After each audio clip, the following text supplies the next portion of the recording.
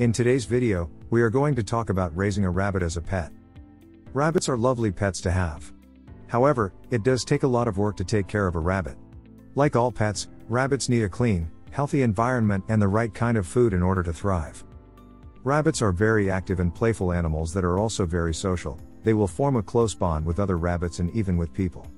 The ideal owner for a pet rabbit is an individual or family with the time and space to dedicate to an active pet that enjoys cuddling and playing and requires a bit of maintenance. Whether it involves daily interaction with owners or other rabbits, these animals require a lot of interaction. Rabbits make wonderful indoor pets. They are adorable and brimming with personality. But before you swoop into the shelter and pick out a cutie, there are a few things you should know to ensure a rabbit is right for you and your family. Purchasing your rabbit. The association between rabbits and Easter means rabbits are often impulsively acquired as pets around the Easter holiday.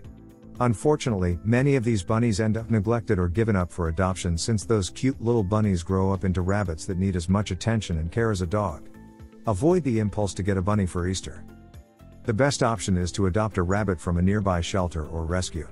There are many wonderful pet rabbits who need a second chance at finding a forever home.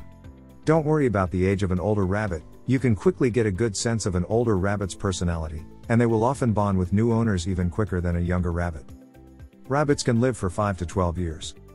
This may be the most important thing to know when it comes to rabbits since they require a sizable degree of daily and weekly care over the course of their lives.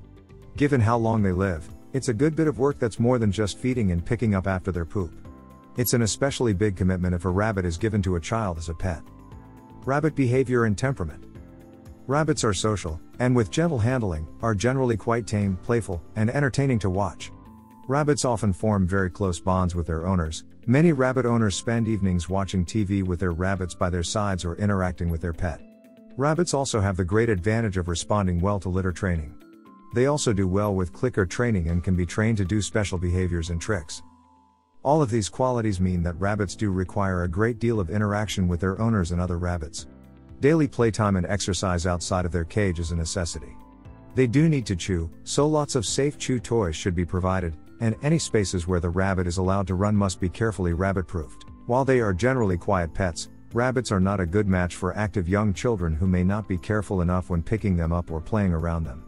While rabbits like to be near their people, it's also important to know that they often would rather not be held. Handling your rabbit. Rabbits make great pets for children. However, they are fragile and young children should not handle them.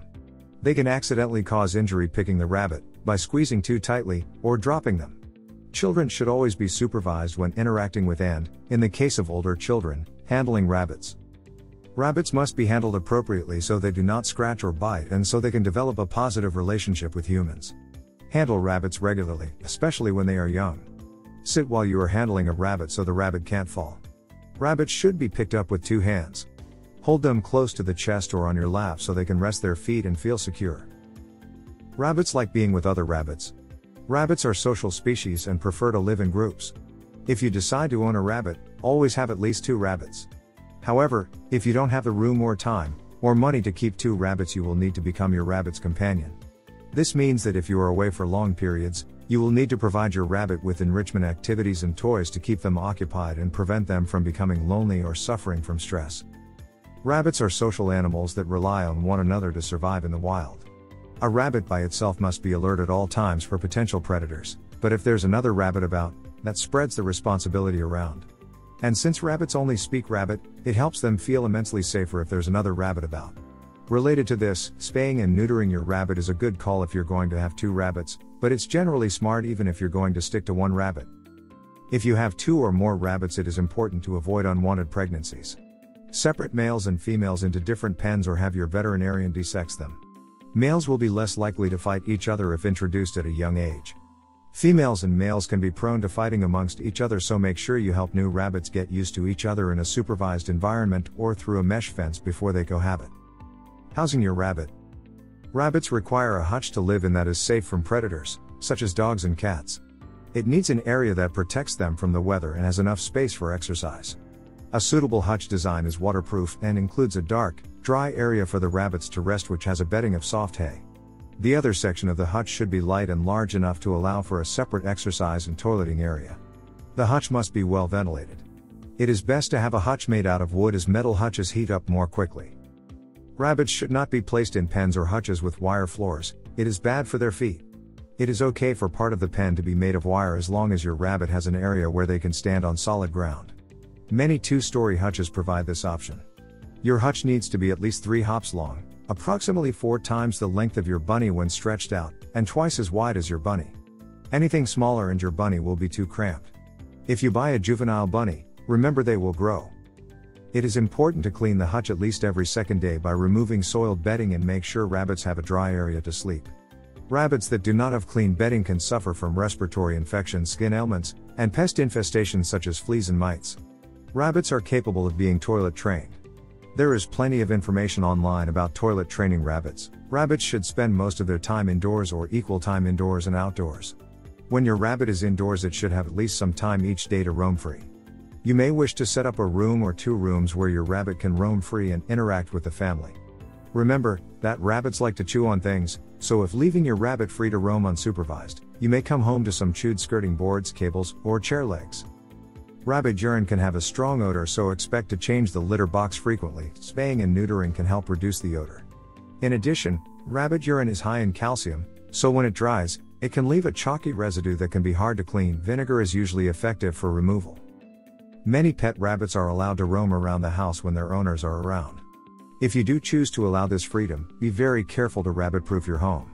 Rabbits love to chew, and dangerous electrical wires and extension cords are just at the right height for rabbits to find and munch on. If you'd rather not give your rabbit the run of the house, you can provide it with an exercise pen. Pens designed for puppies are ideal, they provide plenty of exercise space without giving your bunny the option of exploring potentially dangerous spaces. If the pen is large and tall enough, it can also substitute for a crate. Be prepared to rabbit proof your home. If you don't have the space for a dedicated rabbit room or a large cage, giving your rabbit free rein of the living area may be your only option, and that means preparing the rest of the home. Rabbits' teeth never stop growing, so they love chewing on everything, including furniture and cables. Plastic tubing around cables will take care of that chew temptation, or taping the wires up and out of the rabbit's reach will also work.